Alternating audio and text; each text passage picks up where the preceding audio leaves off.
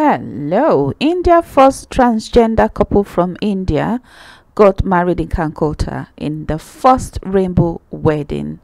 Uh, transgender, uh, tra transgender activist Trista Diaz marries her trans husband Dipan Chakraborty in a Hindu ceremony in Calcutta a few days ago. It was a beautiful wedding. It was a rainbow wedding. Uh, they both transgender.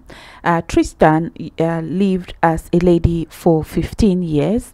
She is an activist, very well known activist for the transgender community, and she also works as an actress. Um, she had a wonderful career. She worked as an actress in several Hindi and Bengali uh, films.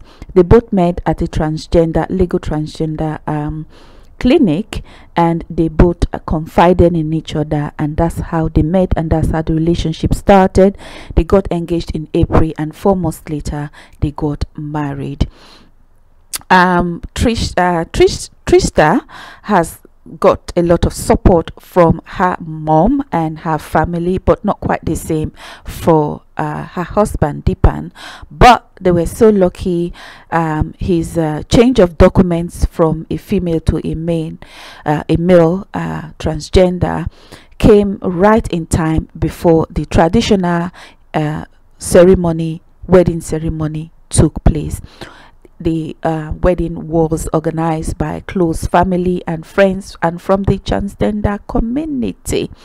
I would say right now that Bobrisky of Nigeria should take a bow and take a seat.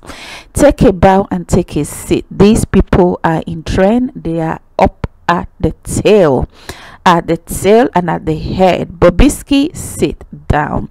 It was a beautiful wedding, the first rainbow wedding in Bengali uh, district of uh, India. I would want to use this opportunity to say congratulations. We wish you a happy married life do not forget to subscribe to your favorite TT, your favorite tea spiller, Kirsty Valentyn. Support this channel by pressing the red button on the right of your screen, the best button for notifications.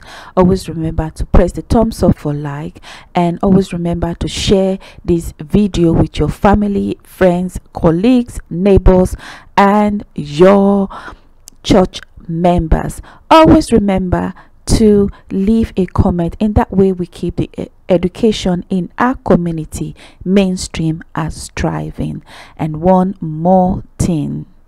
Support this channel. Support this channel. Press that red button for subscription.